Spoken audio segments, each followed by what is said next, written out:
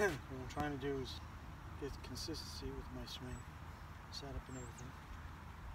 I'm got a pitching wedge here.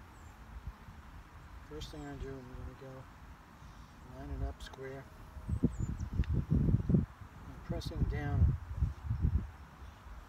to get uh, set up. I push my butt out. And focusing on looking at the ball, which I haven't done.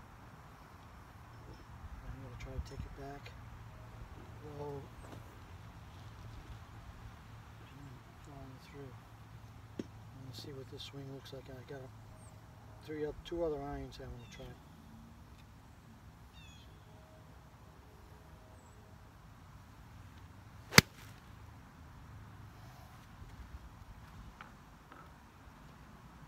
I'm going with a seven iron. Trying to do the same basic swing with every swing. Line it up. Press it down, stick my butt out. Press down on the ground. Focus on the ball.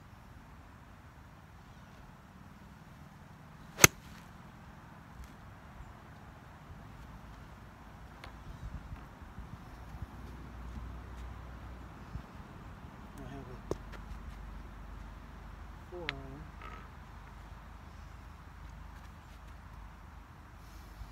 Same thing.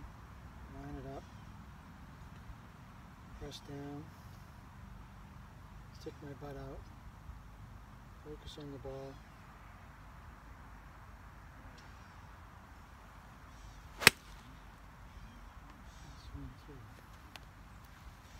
Do that with every club and the driver included.